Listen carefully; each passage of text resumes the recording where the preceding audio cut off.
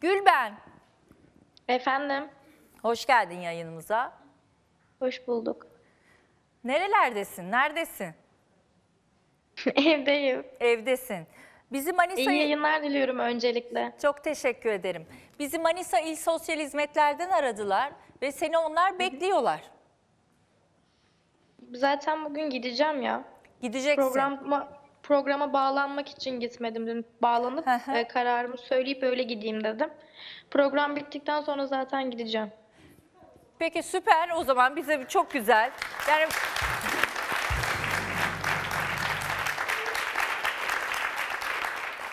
Seni bekliyorlar Manisa İl Sosyal Hizmetler'den. Peki ne düşünüyorsun? Sen dün yattığında ben çok merak ediyorum. Hiç bizim konuştuklarımız acaba düşünmüş müsündür? Bir şeyler etkilemiş midir seni Gülben? Ee, ben düşündüm aslında şöyle söyleyeyim ee, bazı şeyler biraz asılsız kaldı gibi oldu. Hani biraz ailem ee, kabul etmedi yaptıklarını. Onun için ben ee, birisinin bağlanmasını istiyorum. Eski evlendiğim ya ilk evlendiğim insan bağlanmak istiyor. Numarasını da aynı şekilde verdim. Ee, onun da konuşup olayları anlatmasını istiyorum. Her şey açığa kavuşsun ondan sonra gideceğim zaten yurda. Peki sen a- annen burada. Ee, sen yurda gideceksin herhalde. Hani kendini e, sonuçta annemin yanında olmak istemiyorum. O zaman yurda gideceksin. Annene söylemek istersin Duygu Hanım'a. Ee, şöyle diyeyim 18'ime kadar zaten yurtta duracağım. Bundan 18'inden sonra reşit olduğum hayatımda kesinlikle karışmalarını ve benden uzak durmalarını istiyorum. Karışmasınlar istiyorsun sana. Peki Aynen karışmasınlar ve uzak dursunlar benden. peki sen hiç anneni bir daha görmeyecek misin? Görmesem daha iyi ya. Zaten eee, bu zamana kadar gördüğümde bir yarar görmedim. Bundan sonra da görmesem de olur. Zaten iki seneden beri görüşmüyoruz. Pek de görüşmek istemiyorum zaten. Peki senin hiç annenle güzel bir anın yok mu Gülben? Eee, güzel anılar var ama e, kötü anılar güzel anıların önüne geçiyor maalesef. Peki belki bu yaşından dolayı olabilir mi? Aslında güzel anı annen seni sonuçta büyütmüş, bu yaşa getirmiş. Hem Ya kardeşinden Esra Hanım hem annenden şu hem şekilde babandan söyleyeyim uzakta size. kalacaksın. Annem beni büyütmüş olabilir, güzel anılarımız olabilir ama onun yaptığı şeyleri değiştirmiyor. Her insan hata yapabilir. Bir yapar, iki yapar ama bu çok kez oldu. Ve ben bunlara çok kez de söyledim. Hani yanlış yoldasınız, e, bu şekilde davranmamalısınız. Psikiyatri konuştu, polisler vesaire herkes konuştu. Olmuyor yani. Ne diyorsun? Hani- Hanım, psikiyatri falan bizle konuşmadı. Öncelikle onu söyleyeyim. Ve ben e, Gülben e, biz iyi olduğumuz için bizi tercih etmiyor zaten. Kötü insanları tercih ediyor. Kötülerin yanında. O biz onun ailesi değiliz. Arkadaşları ailesi. Onları o şimdi iyi Esra Hanım, peki zannediyor. şöyle bir şey Yarın söyleyeceğim ileride size. anlayacak Esra Hanım. Madem benim Ama çok ailem- geç olacak. Aşırı dakika, bir şey- derecede iyi insanlar. Hani ailem madem iyi ben neden ailemi tercih etmiyorum? Ailemin yanında olmam benim için Esra Hanım, daha büyük neden bir tercih avantaj ama biliyor ailem musunuz mu? sürekli bana bu şekilde Bu davrandığı için istediği gibi ben bu rahat olayları hareket etmek tekrar istiyor. yaşayacağıma eminim. İstediği saate kadar gezecek. Yani geç gelecek kızmayacağız. İstediği kişilerle herkese hani istediği kişiyle kafasına göre takılacak. Yani buna biz ne bileyim hiçbir şeyine kızmayacağız. Hani her şey serbest olacak. Yani hep bunun dediği olacak, hep bunun istediği olacak. O yüzden dolayı zaten istemiyor. önceki Hangi aile bu hayatımda kadar da rahat bir annemler, şekilde e, Hanım dışarıya size zaten soruyorum. salmıyordu. Hangi aile bu Aynı anda kadar konuşunca anlamıyorum. Hangi aile bu kadar rahatlıkla hani böyle her şeye izin verir? Yani- böyle bir aile biliyoruz mu? Duydunuz mu hiç? Ya- Her ailenin bir sınırı, kontrolü var yani. Tabii ki Gülben zaten Biz onun aileler arkadaşı biraz değiliz kısıtlama yani. yapabilir. Sadece şu, evet ebeveyn e, çocuğunun arkadaşı olmamalı, sınırları olmalı. Sadece acaba siz kuralları şiddetle mi koydunuz? Hayır Esra Hanım, e, bak bunu araştırabilirsiniz. E, Manisa'da Dilek Jandarması'na da sorabilirsiniz. Eşimi tanıyorlar. Bak bana Bizim orada Duygu, dosyalarımız var. bana araştırabilirsin deme. Sen bana anlat ben sana inanacağım. O yüzden devamlı her şeyin başında araştırabilirsin deme. Sen bana anlat.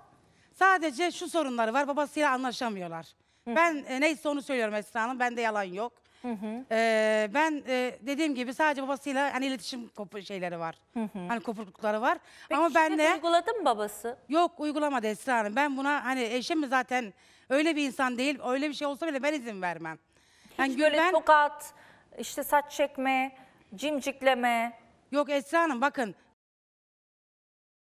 En son İzmir'e gitmeden önce orada görüldü. Bu demiş ki şarjıyla kaza yaptım. Bunun biz İzmir'de bulduğumuzda kolunda kocaman morluk vardı. Çenesinde morluk vardı. Hatta orada Canlı yayın açmışlar. Canlı yayında hatta orada böyle çenesinden morluklar bile gözüküyordu. Sonra biz bunu e, bu tele, kendi telefonunda fotoğraflarını çekmiş morluklarının.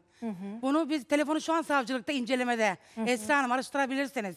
Hatta e, görevliler dedi ki fotoğrafların hepsi hani incelemeye alındı. Bunun telefondaki bilgilerin hepsi kim buna yardım etmiş. Şu an hepsi araştırılıyor. Kim es, hani madde, alı, madde alıştırmış. Hepsi yani var. Şimdi hattımızda Süleyman var. Nişanlısı biliyorsun. İki dönem onunla nişanlandı. İstemeye geldiler falan. Bakalım Süleyman da her şeyi biliyordur. Bir ona da soralım. Süleyman hoş geldin yayınımıza. Tamam. Hoş bulduk. İyi yayınlar. Ee, s- aslında Gülben senin de konuşmanı istedi özellikle bu konuda. Sen Evet. bize ne söylemek istersin Süleyman?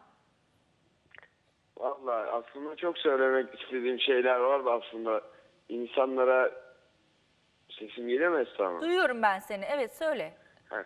İnsanlara burada şimdi e, kimseyi kötü şey istemem. E, Sen şöyle gerçekleri söyle. Kötü olup olmamaya bu olsun Şimdi yani. bu Duygu Hanım denilen şahıs Evet. e, kızını hiçbir şekilde korumayan bir insan. E, babasından, şiddetinden, hiçbir şey, her şeyini göz yuman bir insan. Peki Süleyman sen bu Anladınız mı? bütün bu şiddet şeylerin olaylarını duygudan mı duydun gözünle gördüklerin var mı? Yok ben Gülben'le bir dört ay bir yaşanmışlığım olduğu için kız bana anlatıyordu, hali geliyordu. Tamam Beraber yani dertleşiyorduk. o Gülben'in oluyordu, bu anlattıkları oluyordu. öyle değil mi? Gülben'in anlattıklarını söylüyor. Tabii Esra Gülben Hanım, bana yalan şey söylemez ki sorabilir o miyim? zamanlar. Niye yalan söylesin? Böyle bir konu yoktu çünkü. Esra Böyle Hanım bir şey söyleyebilir miyim? Evet. Benim kızım şu an savcılıkta telefonu dediğim gibi araştırılıyor. Benim kızıma benim kızıma Yasaklı madde. yasaklı madde atmış demiş ki gel buluşalım. Bu, bu bu şahıs. Süleyman kaç yaşındasın sen? Efendim? Kaç yaşındasın? 19 yaşındayım 19 Esra. yaşındasın. Sen yasaklı madde kullanıyor musun? Duyayım. Kullanıyor Ben musun? kullanmıyorum demiyorum ki ama bak Kullanıyorum böyle, diyor zaten e, çok çocuk. kötü bir şekilde karşıla Hanım. Duygu bir dinleyebilir miyim? Yalan söylüyor Esra Hanım ya bu durmadan yalan makinesi Peki gibi sen durmadan yalan Yakında söylüyor. çıkacak. Sen göreceksin yalan mı gerçek Kendisi, mi? kendisi kızı bak bir şey söyleyebilir miyim? Süleyman. Şimdi Esra Hanım. Gülben. Peki sen kullanıyorsun. Gülben yasaklı madde kullanıyor muydu? Benim yanımda kullanmıyordu Esra Hanım. Esra Hanım kendi Fotoğraf dedi. atmış demiş. Tamam ben yalanlamam hiçbir şey. Bir Her dakika. şeyi doğru söylemeye geldim ben buraya. Evet. Esra Hanım. Peki Fotoğraf Gülben atmış. alışmış Evet, mıydı bu attım. maddeye? Bak şimdi Esra Bir- Hanım, bir konuşalım önceden, mı? Önceden benle daha hiç tanışmamışken bu kızın hayatında bu maddeler varsa bilmiyorum. Ben benim yanımdayken böyle bir iş olmadı yani. Esra Böyle Hanım bir yalan olay söylüyor. olmadı. Bakın biz bununla Gülben ayrıldıktan sonra bu, biz buna tartıştık telefon üzerinden. Dedi, bekledim. Ya ben yalan söylemem. Bu dedi ki bana senin kızın da benimle beraber. Evet. Bu el- Ben böyle bir şey söyledim mi kızlarım da var. Süleyman? Böyle bir şey söyledin Efendim? mi? Yalan söylemesin hiç. Nasıl bir şey? Biz- Senin kızın da benimle Bunu beraber söyledin içiyordu mi? dedi. Senin kız içiyordu dedin mi Duygu'ya? Şimdi Duygu ya. gelecek. Duygu Hanım'a. Dedim. Evet dedim. E niye diyorsun içmiyorsa yanında? Tamam içmiyor ama dedim. E Neden dedim? Çünkü bana durmadan benimle uğraştıkları için, durmadan benim arkamdan yok madde içiyor, yok madde satıyor, yok kullandırıyor. Bu şekilde ithamlarda kullandığı için ben de kendisine böyle söyledim. Peki şunu Ama öyle soracağım bir şey ben sana. olmadı benim yanımda. Şunu soracağım sana. Ee, Gülben, Gülben'e yaptıklarını senin birebir şahit olduğun var mı? Ve sen Gülben'le nişanlıydın değil mi Süleyman? Evet. Peki bu nişanı Gülben mi istedi, Duygu mu buna aracı oldu? Şu olayı size başından sonuna özetleyerek anlatayım. Şöyle oldu. Ben bir gün kafedeydim. Ee, Gülben denk geldi. Önceden de bir konuşmuşluğumuz vardı ama çok yoktu. Her neyse biz çay içtik oturduk kafede. O gün de bu evden kaçmış babası dövdüğü için. Yanıma geldiğinde zaten kolları falan mosmordu. Hayır Esra Hanım Beraber işim bir- Bir dövmedi. dinleyeyim. Heh, evet. Efendim? Dinliyorum evet. Heh, kolları falan mosmordu. Oturdum işte ne oldu diye sordum. Dertleştik falan vesaire. Benim iş görüşmem vardı. Oraya gitmem lazımdı. Gülben de geldi, geldi benimle birlikte. Ondan sonra biz döndük. Arkadaşlarımızın evine geçtik. O- ben zaten art niyetli bir insan olsam Instagram'da hikaye paylaşmazdım. Tamam ben şunu Ya da soruyorum. Sizin ne kızlarımı zaman böyle kaçırmış nişanlanma olsam kararı oldu? O kadar uzun anlatacak vaktimiz yok. Ne zaman nişanlanma kararı oldu? Nişanlanma kararı o gecenin sabahına oldu. Ne çabuk ya daha merhaba dedin nişanlanıyorsunuz, karar veriyorsunuz. Çok önceden bir tanışıklığımız vardı. Kız da bana dertlerini anlatınca benim de zaten psikolojim bozuktu. Tamam dedim deneyelim dedim. Gülben kendisi dedi bunu bana. Esra Peki Hanım, ama Gülben bize diyor ki annemle Heh. babam beni zorla hani benim Evet e, başlık parası için benden de başlık parası istediler. başlık parası 25 mı bin lira. istediler? Esra Hanım yalan söylüyor. Ne kadar 25 başlık bin parası lira, is- babası benden başlık parası Kaç para? istedi. Benim telefonlarımdaki ses kayıtlarına, her şeyi, telefon görüşmelerine, benim annemin telefon görüşmelerine hepsini dinleyebilirsiniz. 25 bin bulabilirsiniz TL isterseniz. istediler senden başlık parası öyle mi? 25 bin TL istediler.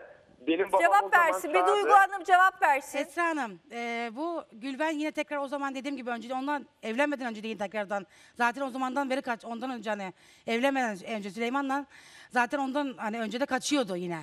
E, Emren de dediğim gibi bir çocukla tanıştıktan Emrah sonra Bey, benim ben kızım Süleyman'ı soruyorum. benim kızım e, kaçmaya başladı ve Efendim? benim işte karşılaşmışlar Aksar'da. Bu arkadaşının evinde Gülben'le beraber bu- Gülben bununla evlenmek zorunda kalmış. Kendisi bana sonradan söyledi. Yani bunlar evlenmek istedi yani. Bi- Biz bunları vermiyoruz. Tamam, ben kızımı peki şey siz yapmadım. para istediniz mi? İstemedim.